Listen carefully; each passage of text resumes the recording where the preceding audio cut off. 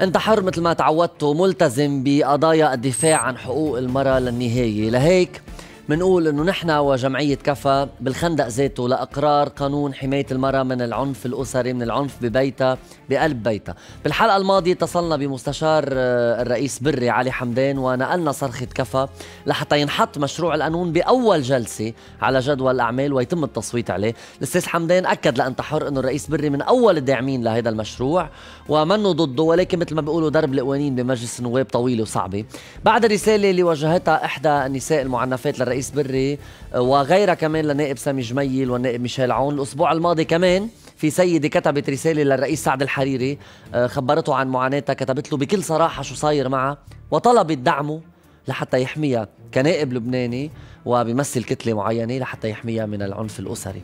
كمان بعد حلقة الأسبوع الماضي اجتمع فريق عمل كفى بالاستاذ حمدان مستشار رئيس بري وناقشوا آه، الموضوع. رح نطلعكم على كل هيدي التفاصيل لأنه وصلوا على خلاصة إيجابية. مع رد كمان الرئيس سعد الحريري الأسبوع المقبل إن شاء الله.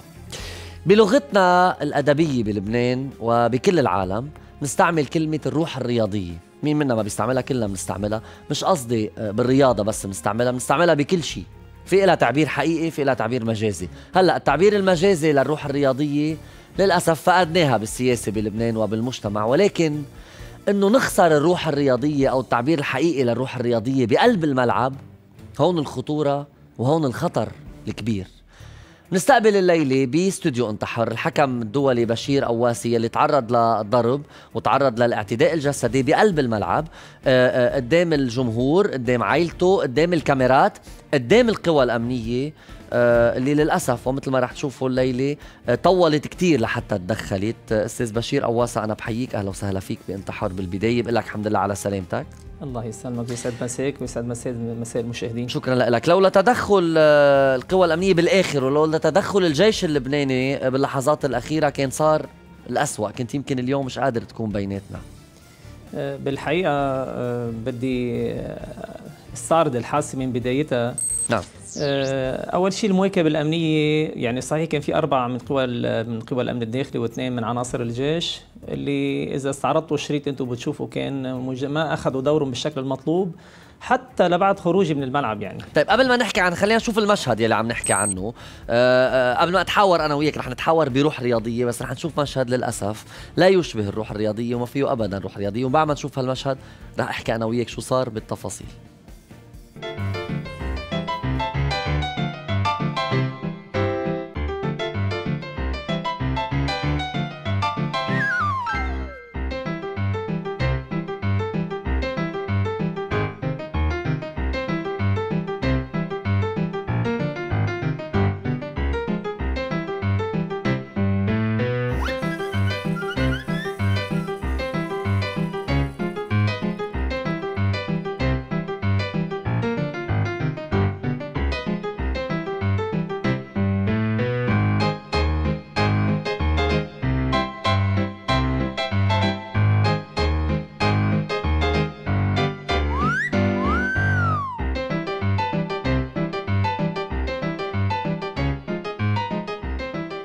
أنا عن جد بعتذر لهيدا المشهد بعتذر لأنه نوصل لهون بعتذر لأقول إنه اللي بيلعبوا رياضة مش مفروض إنه يعملوا هيك هودي مش لعيبة. آه كيف بتفسر هذا المشهد أستاذ بشير يلي صار معك؟ آه أول شيء هالمشاهد أنا تقديري وتقدير أي مشاهد هذا اللي اللي عرضتوه هلا إنه تقديري هذا آه، غير آه، تصرف غير مسؤول ما مطلوب يكون موجود بملاعبنا. للأسف الشديد مع إنه موجود صار له فترة طويلة.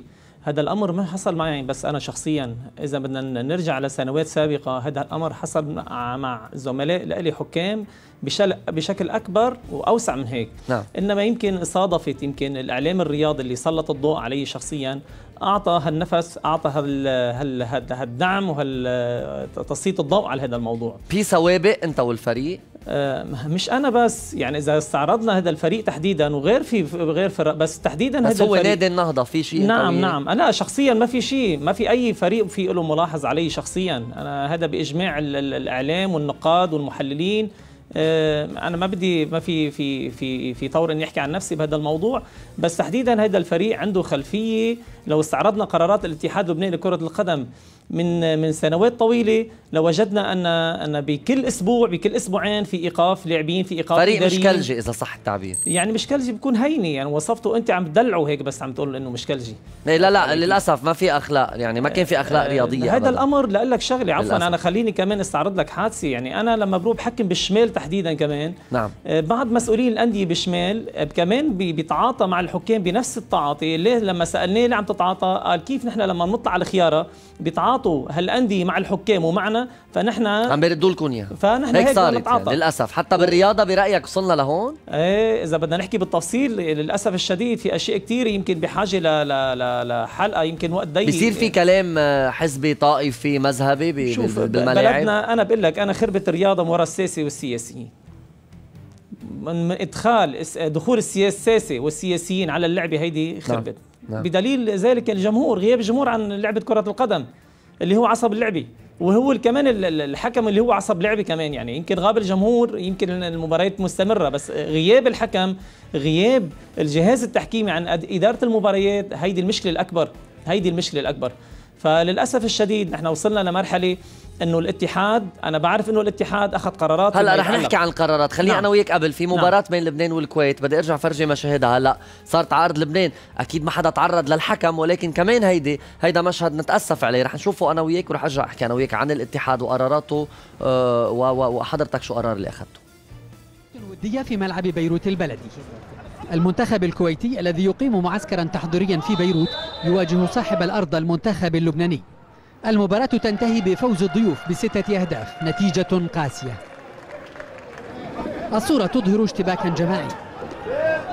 أكد شهود عيان أن سببه مشادة كلامية بين اللاعب الكويتي وليد علي ونظيره اللبناني عباس عطوة.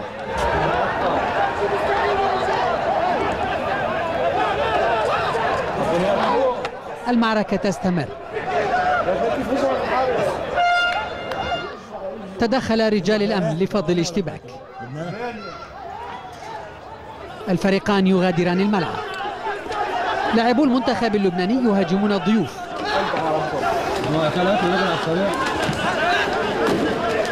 والجيش يفض المشكلة بطريقته الخاصة.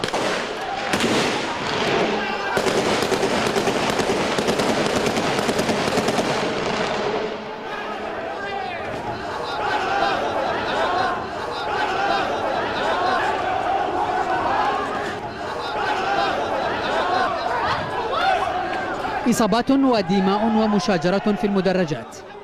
هذه حصيلة مباراة لبنان والكويت في ملعب بيروت البلدي ما بعرف اذا نحن بشي شارع من الشوارع اللي بصير فيها معارك مذهبية وطائفية وحروب آه، ما بعرف يعني غريب. وقواس ومقواس هيدي المشاهد شو بيقولوا عنا برا يعني أستاذ بشير؟ يعني في في اتصال مع مسيو روبير آه، رئيس نادي أتلتيكو قال لي كنت بفرنسا. عم تابع على ال Eurosport. فشفت هذا المشهد كاتبين shame Liban shame صح. لا مش كتبوا shame. اي أنا كمان كنت أنا أنا بحضر على طول ال Euronews. أيه. وثاقبت الصبح يعني أول ما وعيت هيك شفت المشهد اللي بعرفه وقريت shame. shame يعني العار. نعم. يا للعار. نعم. فاللي عم بيحصل هيدا يمكن برجع بقول لك تسليط الضوء على اللي حصل معي هو هذا كمان كان موجود بالسابق. يعني هذا ماشي جديد. إنما يعني شو سببه أسبابه كثيره أسبابه كثيره لو نظرنا نحن للنظام الداخلي فيما يتعلق بحماية اللعبة بحماية اللعبة مش بحماية الفرق عم بيتم حماية الفرق ببعض القوانين فيما يتعلق بالنظام الداخلي على حساب الحكام على حساب أشياء ثانية عم نحكي عن النظام الداخلي تبع الاتحاد؟ نعم اتحاد النظام الداخلي تبع الاتحاد اللبناني لكرة القدم. هذا الاتحاد ليه بتعتقد في مصالح بين الاتحاد طبيعي والفرق؟ طبيعي. في جمعية عمومية في انتخابات في مناصب.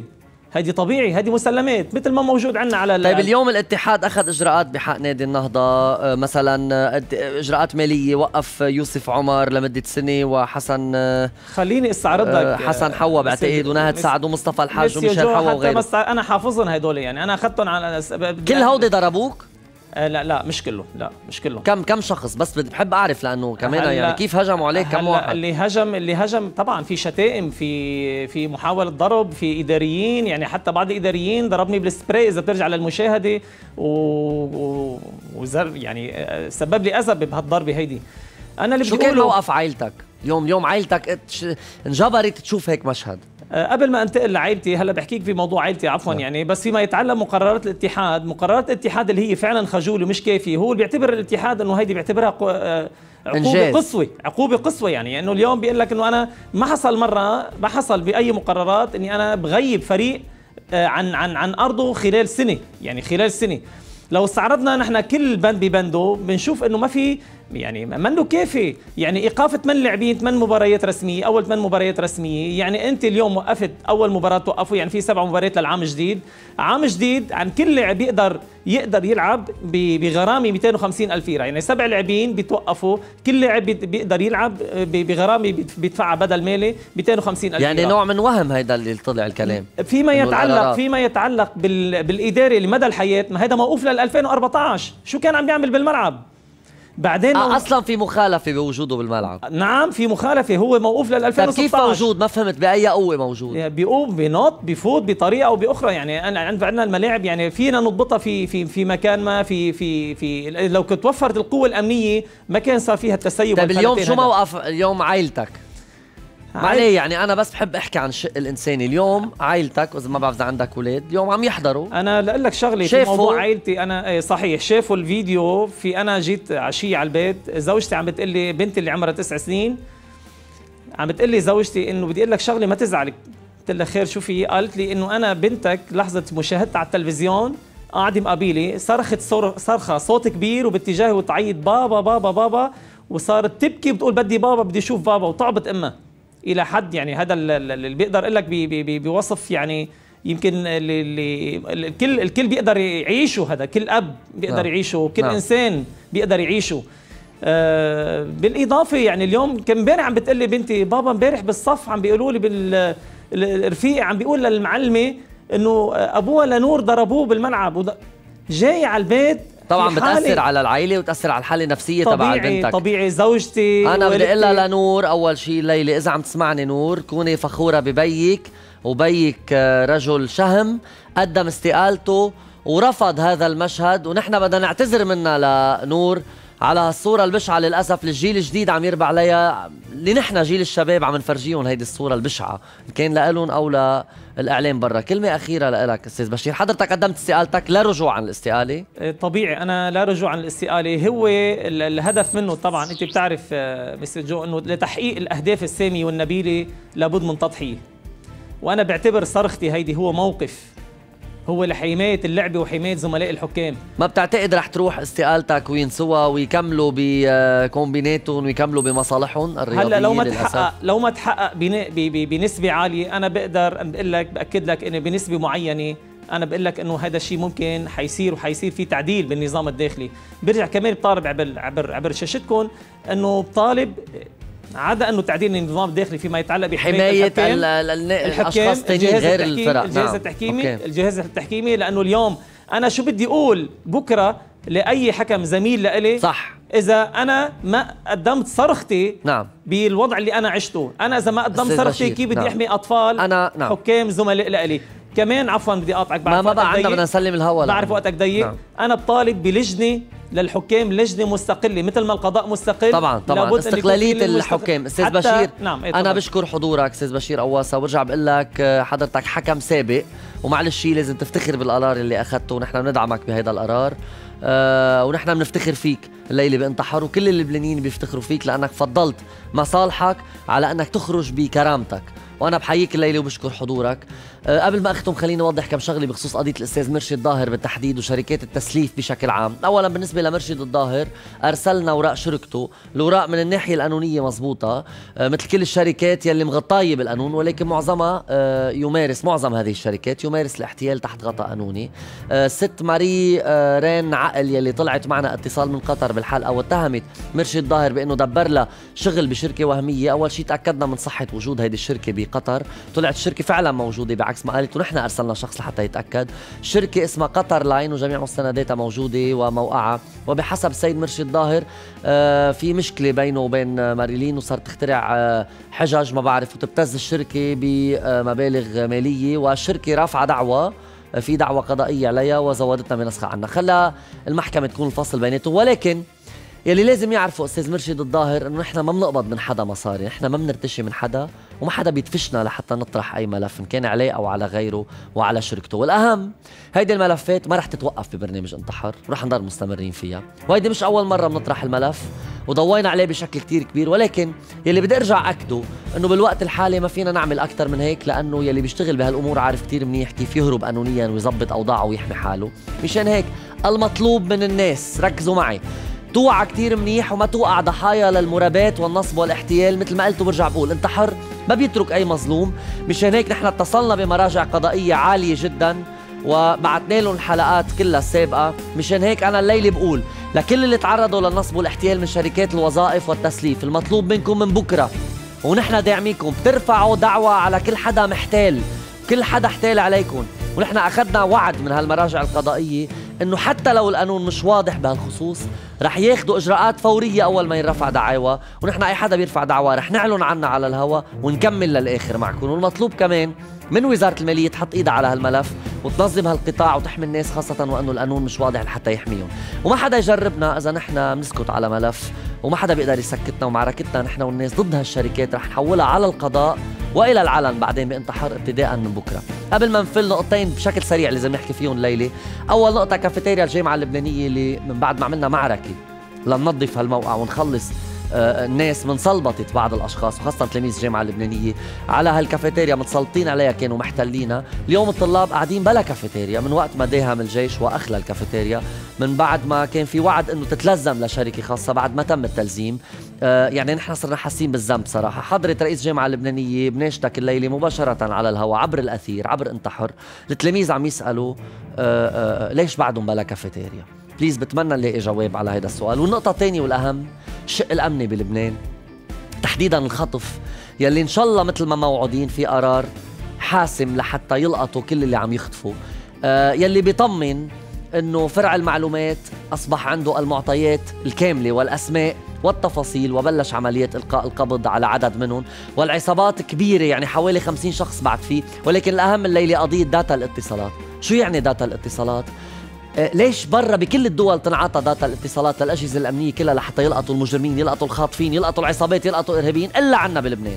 بلبنان لازم نسيس الموضوع بلبنان لازم حتى بالموضوع الأمني نحسب الأجهزة الأمنية على فريق سياسي معين لازم تعرفوا لازم كلنا نعرف إنه السياسة وسياسة الحكومة هي اللي مبطئة قضية الجرائم. ال data يلي ضابينا وما بنعرف ليش هي اللي عم بتسهل للمجرم يعمل اللي بده إياه. ولمعلوماتكم من وراء قضية ال data بلبنان صاروا بيحكوا من الخط وبيكبوا ال SIM card وصاروا بيحكوا أوقات من بيروت وبيكون المخطوف بمنطقة ثانية مناشدتنا الليلة للحكومة وللوزراء المعنيين.